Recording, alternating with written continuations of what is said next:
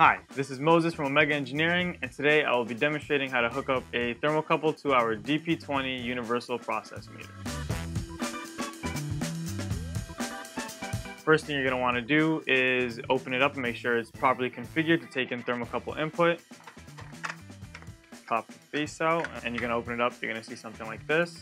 According to the manual, you're going to want to make sure that one of the jumpers are connected to pins 4 and 5, and over on this side, you want it running across pin E. All right, and then you want to slide it back into the case.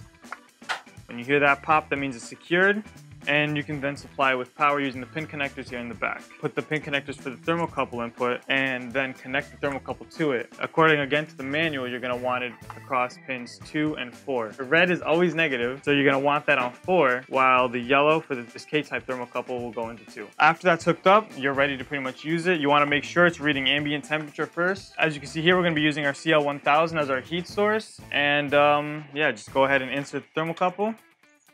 I have the CL1000 set to 120 degrees Fahrenheit. And now we just gotta wait until the DP20 hits that mark. So as you can see here, it's hit our mark. The CL1000 was set to 120 degrees Fahrenheit and that's what it's reading here. And that's how you hook up a thermocouple to our DP20 universal process meter. If you have any other questions, feel free to call or chat us at omega.com. And don't forget to like and subscribe.